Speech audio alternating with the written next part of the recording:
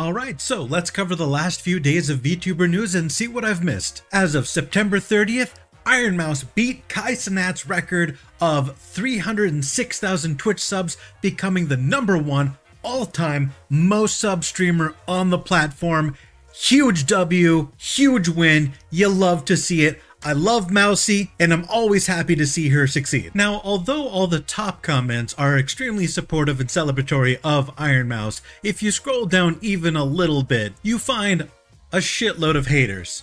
Such as, nah, lost to a pixel. What a time to be alive, the number one streamer isn't even a human. Which is an insane thing to say, because aside from the lore of the character being Satan, obviously Ironmouse is a human. I don't know why so many people think that VTubers are AI. With the exception of Neurosama, I'm not aware of any VTubers that are genuinely actually AI generated. This next comment, surely a sign of the end times. Yes, the end of the world, brought to you by Ironmouse. Like, like what the fuck, dude? I've never even heard of this AI hoe. Why does everyone think VTubers are AI? The anime masturbators won. Society has failed. Lord send all the asteroids now. We don't deserve to inhabit Earth anymore. I can't even be angry at all this hate because people are being so fucking dramatic that a VTuber took the top spot. VTubers have been around for years. Get fucking over it, my dude. Or this, who the fuck is this? Industry plant. Because what the fuck? Pathetic uwu untalented weirdo. Hate the internet. Industry plant? Bro, everyone who hates Ironmouse just says things that are so easily disproven industry plant. Mousy was streaming for ages before she actually popped off. Listen, I obviously love Ironmouse, and I don't know much about Kai. But in my opinion, the best way to squash all of this drama is for the two of them to collab. I personally love chaos. I love absolute nonsense. I love when you take two extreme personalities and just sort of force them to coexist for the entertainment of the viewer. I think it would be hilarious to watch a Kai and Mousy stream. I bet every dollar in my wallet Mousy would be down to do a collab with Kai, but that's just my opinion. The next thing I wanted to talk about is the fact that YouTube Shorts will increase video length to 3 minutes, which while not a bad thing per se, I do think this is relatively pointless. If I was going to be yapping for three minutes straight, why would I want to be constrained to a vertical format? Not to mention, shorts don't make any money. If I got three minutes worth of shit to say, I'm gonna make it a normal video because it's easier to format, and I'm also gonna be able to run an ad before it, meaning I'm actually gonna get paid for my work. I strongly feel like the only people who are going to use this feature are people who are used to uploading on TikTok and want to re-up all of their TikToks that are over 60 seconds to YouTube. That's literally the only person who benefits from this. No one else is going to use this. It is mostly pointless. The next thing I wanted to talk about is that Nijisanji VTuber Ryoma Barrenwort played Apex Legends with Dokibird, formerly Selen Tatsuki, and Nijisanji decided to be petty and private the VOD. It's just annoying that they happened to get randomly matched together, and that caused him to get his entire VOD nuked. It feels like such a waste in my opinion. The next thing I want to talk about is Kattarina Qutie of Idol EN has unfortunately gotten into a car accident. Apparently a driver cut her off in a dangerous way that caused her to steer to the other side, and while trying to avoid crashing into him, she crashed into another driver. She says she is okay, but shaken and anxious. And of course, the mad driver that cut her off sped off, so she can't get insurance details from him, so that's annoying. It's also annoying that because she's the one who crashed into the other person, she's likely going to be deemed guilty and have to pay to fix not only her car, but also the car she crashed into, even though it's not her fault. I'm sure the situation sucks ass and is probably going to be wildly expensive and inconvenient, but at the very least, She's safe, and ultimately that's what matters. The next piece of news I wanted to cover is from Vienna, where she says that unfortunately her worst nightmare happened and her trip to Germany had to be cut short because apparently her pre-existing heart condition was acting up and after a medical episode she honestly thought it could have been the end for her. But Thankfully, she was hospitalized and she was brought back up to full health. And with any luck, the treatment she's receiving might be able to treat her well enough so that she'll never have to experience this again, which would be phenomenal news.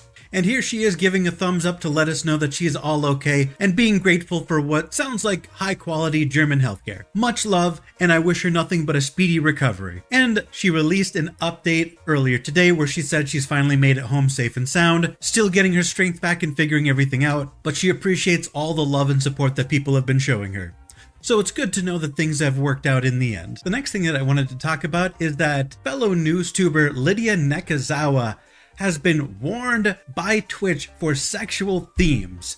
And she says she believes this is a targeted attack because there was nothing sexual about the stream she was doing when she got this warning. Watching the video she posted, it's absolutely nuts that this content right here got a sexual content warning. Like, oh no, pixel ducks, too slutty for Twitch. Meanwhile, if you want to take a peek over at the uh, pools and hot tub section over on Twitch, I'm sure you won't find anything scandalous over there that's worse than what Lidia is doing. Honestly, at this point, I don't know if anyone can argue that VTubers aren't being targeted by Twitch.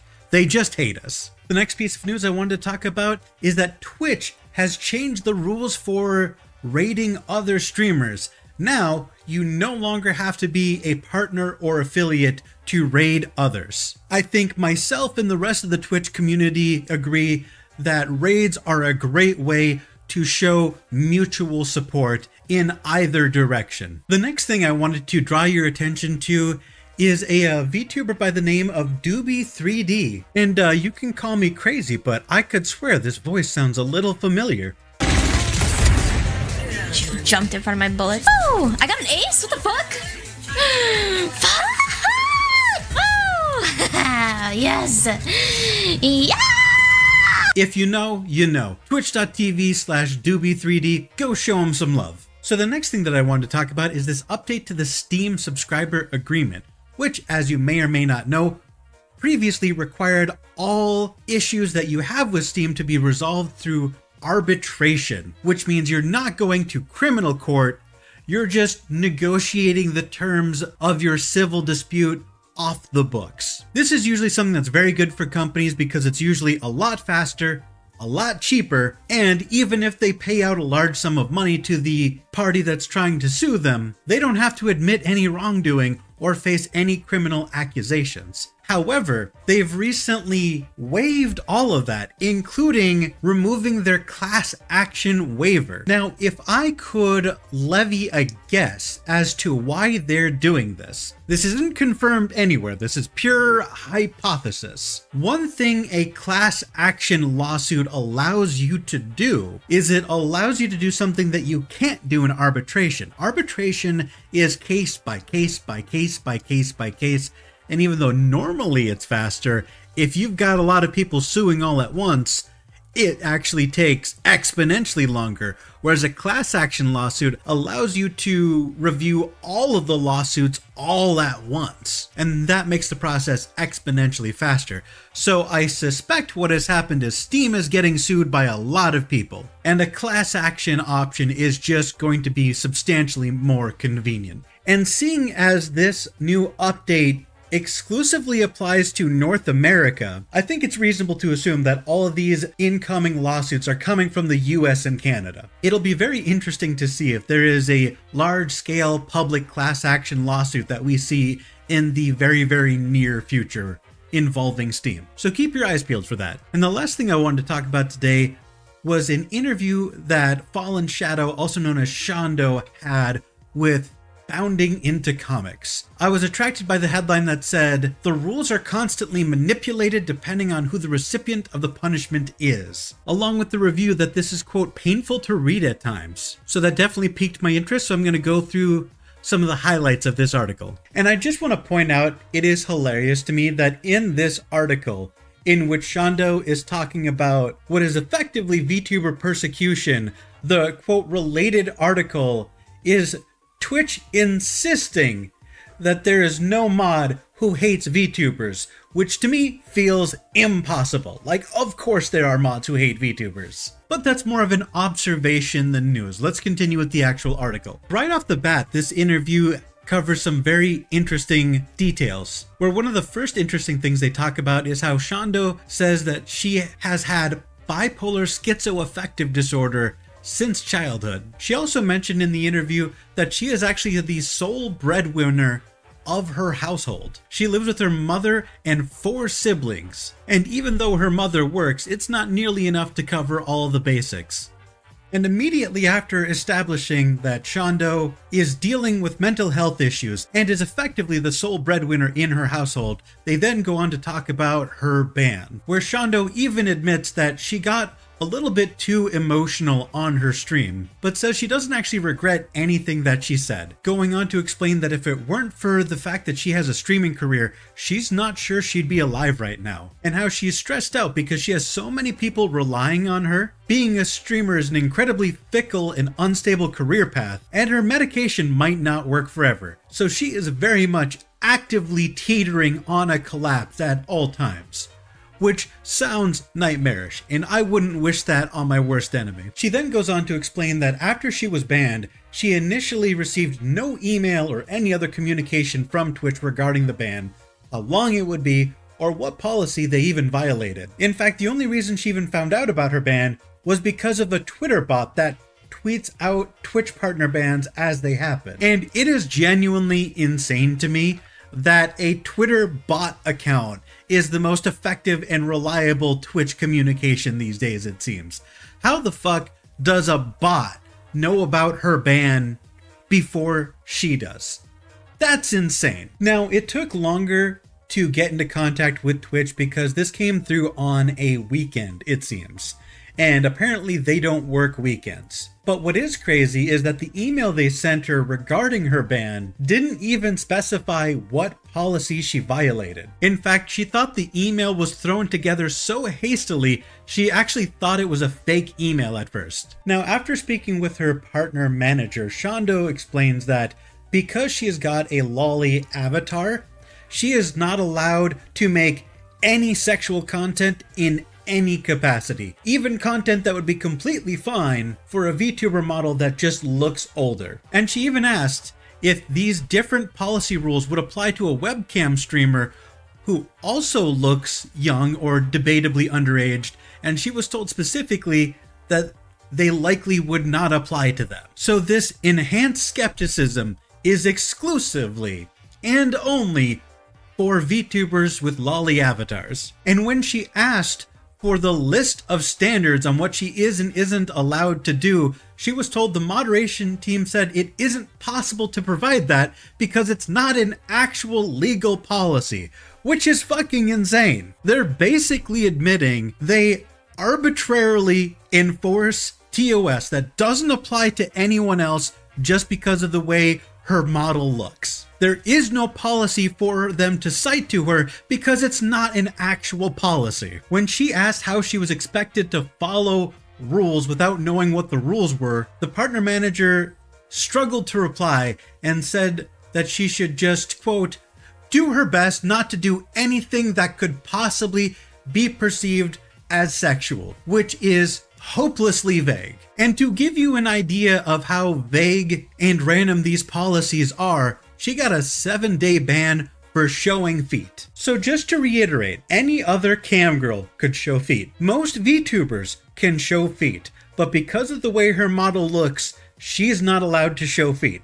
This only applies to this specific subgroup of VTubers. And what's crazy is, she actually spoke about this directly to CEO Dan Clancy, and he said that there was no extra set of rules for her but moderation is right, and she must not make sexual content. And I feel like I'm taking crazy pills because how can you say in one breath there are no extra rules, and then in the next breath say, oh, by the way, here are the extra rules that you need to follow. So if you felt like VTubers were being persecuted and unfairly treated by Twitch moderation, and how VTubers seem to constantly trip over rules they didn't even know existed, you're not crazy, you are being punished for violating rules that don't exist. But despite being subject to rules that don't exist, again, remember, Twitch says there is no mod who hates VTubers. And of course, they go on to talk about the same old absolute hypocrisy where cam girls seem to be able to get away with whatever the hell they want. And here's the thing even if you happen to agree that there should not be sexualized loli VTubers on Twitch, surely you could at least understand the fact that Twitch is literally admitting to enforcing rules that don't exist and singling out streamers just for how they look. CEO Dan Clancy himself has effectively admitted that he knows Twitch moderation is arbitrary and asinine and stupid and impossible to predict, and effectively told us to our faces it's gonna stay that way forever. And there's nothing we can do about it. And I hope after explaining all of this, you understand where I'm coming from when I say that if you stream on Twitch, it would behoove you to multi stream on YouTube as well. YouTube is the one stop shop for live streams, videos, shorts, and community posts all in one convenient spot. There's nothing wrong with having a YouTube and a Twitch and a TikTok and a Twitter. That's fine. But YouTube does everything in one place. And if you get kicked off a platform somewhere else, you're gonna need a second place option to go to if and when you get banned. Multi streaming on as many platforms as possible isn't just a neat way to increase viewership. It's a means of insurance to protect your career in case one platform decides to fuck you one day because you violated a rule that doesn't even exist. So that's everything I wanted to talk about today. I hope you enjoyed the video. Feel free to leave a comment in the comment section down below about everything we talked about today. I'm genuinely very curious to hear what everyone has to say about everything we covered today. But that's all for now. Bye, guys.